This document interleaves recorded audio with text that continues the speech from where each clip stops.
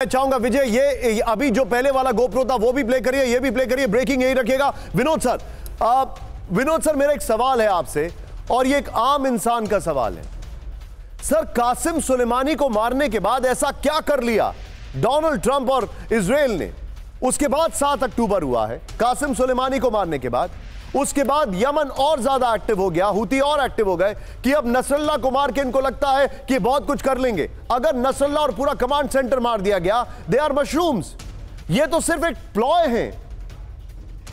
देखिए जो अरब नेशंस के बाहर जो रहते हैं हम जैसे लोग हम ये समझते हैं कि अरब अरब एकजुट हैं ये सच नहीं बिल्कुल नहीं है। मैंने इसलिए ये फ़ोटो मेरे पीछे लगाया हुआ है। कल आप विश्वास नहीं करेंगे निशांत जी कल सीरिया में डमस्कस में मिठाई बटे हैं नसर अल्लाह के मरने के खुशी में।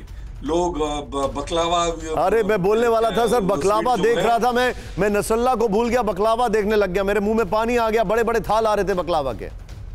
वो खिलाने लग गए लोग। तो ये जो बातिज्म शिया सुन्नी ये आपस में इतने डिवाइडेड हैं कि ये मिलकर के काम करने वाले लोगों में से नहीं है ये इन्होंने टाइम एंड अगेन प्रूव कर दिया है। और ये बातिज्म जो है सर लेकिन आपका आपका okay what is what is the one line you want to convey sir आप क्या कहना चाह रहे हैं कि नसरल्ला को मारने के बाद क्या होगा? खमनी छुपा रहेगा किसी बिल में और टेबल पे आएँगे। पीस टॉक्स की कोशिश ज़रूर होगी। अगले दो चार दिन में आप देखिएगा हम कवर कर रहे होंगे यहाँ।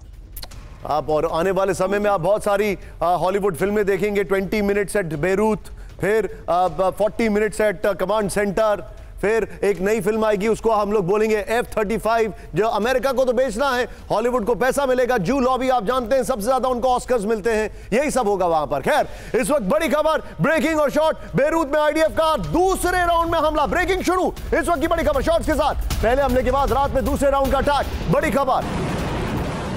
एफ़ थर्टी फाइव फाइटर से भीषण बमबारी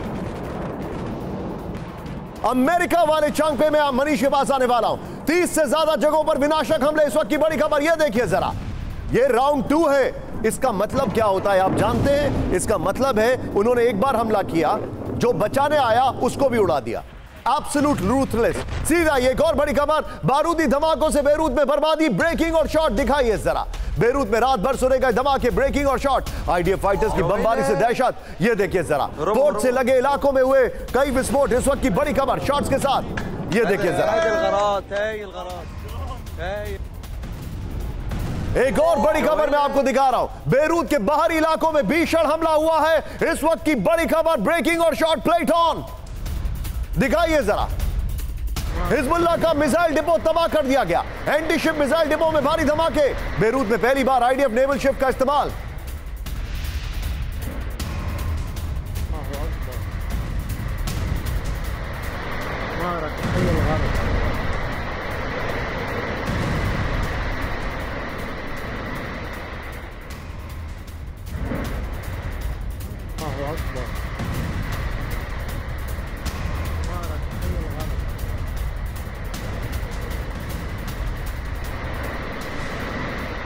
तीनों ब्रेकिंग तीनों शॉट विजय दिखाइए ना, तीनों ब्रेकिंग तीनों शॉट और सीधा आइए सुमित के पास, सुमित, एक राउंड ऑफ़ अटैक हुआ, उसके बाद दूसरा राउंड मुश्किल से एक घंटे के अंदर, दो घंटे के अंदर उन्होंने शुरू कर दिया।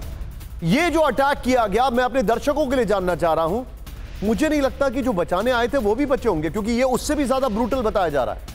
बिल्कुल निशांत जो बचाए होंगे वो भी और अगर आप देखें कि उनको अगर लगता है कि वो बच भी गया हो निकलने की कोशिश करो तो फिर अटैक कर दो। और ऐसी दहशत भर दो कि आसपास कोई देखने आए ना। और यही इसराइल की स्ट्रैटेजी भी है। इसराइल को पता है कि देखिए खबर लेने ज़रूर कोई ना कोई आएगा कोई ना कोई ना कोई वहाँ पे वेरीफाई करने ज़रूर आएगा। ये तो बाकायदा आप ही ने खबर दी थी ना वहाँ पर कि हिजबुल्ला के कमांडर्स वहाँ पर पहुँच गए हैं सब लोग वहाँ पर देखने के लिए पहुँच गए मुझे लगता है कोई भी बच्चा नहीं होगा इसके बाद। देखिए बिल्कुल और ना सिर्फ़ वो बल्कि आईआरजीसी के कमांडर भी वहाँ मौजूद थे। कहा जा रहा था कि आईआरजीसी लगातार बड़े ऑपरेशंस के लिए पूरे संपर्क में है। उनके कई कमांडर जो है वो लगातार हिजबुल्ला के साथ बड़ी मीटिंग कर रहे थे। उस समय भी जब नसरल्ला वहाँ मौजूद था और उसके बाद भी वो वहाँ पे वेरीफाई करने पहुँचे कि आखिरकार क्या परिस्थिति बनी है। तो आप मानिए कि ऐसा नहीं है कि इसराइल सिर्फ़ एक बार अटैक करके पीछे हट जाता है, वो बार बार आता है, वो लगातार आता है और निश्चित तौर पर पूरी कोशिश करता है कि उसका दुश्मन कहीं पर भी हो। अगर वो आसपास दोबारा से आता है तो फिर उस पर टारगेट किया जाए। लेकिन इस वक्त की बड़ी खबर फ्लोर ब्रेकिंग मनीष भी ऑन स्टैंड बाय ब्रेक करिए इस वक्त की बड़ी खबर।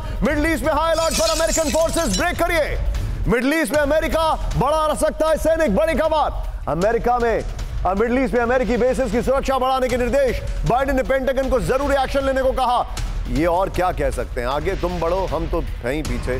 खैर बाइडेन को मिडल ईस्ट के हालात की दी जानकारी इस वक्त की बड़ी खबर। ब्रेकिंग फुल स्क्रीन ब्रेकिंग दिखाइए। ये आज की सबसे बड़ी खबरों में से एक है। ये देखिए मिडल ईस्ट में तनाव चरम पर है। अमेरिका ने अपनी फोर्सेस को बढ़ाने के निर्देश दे दिए हैं सीधे आइया पर गोप्रो पर। यह जो जानकारी मैं आपको दे रहा हूँ प्लेट ऑन ये देखिए रीजनल वॉर का खतरा हाई अलर्ट पर यूएस फोर्सेस इस वक्त की बड़ी खबर, ये देखिए मिडल ईस्ट में अमेरिका बढ़ा सकता है और ज़्यादा सैनिक। मिडल ईस्ट में अमेरिका बढ़ा सकता है। Warship fighter jet deployment Pentagon को अमेरिकी बेस दूतावासों की सुरक्षा बढ़ाने के निर्देश। मनीष वेरी क्विकली अमेरिका की स्ट्रैटेजी क्या है? अभी इस वक्त वहाँ पर क्या चल रहा है? मिडल ईस्ट में, बताइए जरा।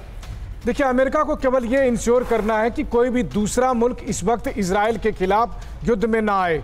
और वैसे भी अब ऐसा दिख भी नहीं रहा है कि कोई दूसरा मुल्क आएगा। कम से कम पिछले दो तीन हफ़्ते से जो हालत है उसके बाद। लेकिन आप ये देखिए कि मिडिल ईस्ट में अमेरिका ने एक मैसेज दिया है सबको कि इजराइल से ज़्यादा सगा उनका कोई नहीं है।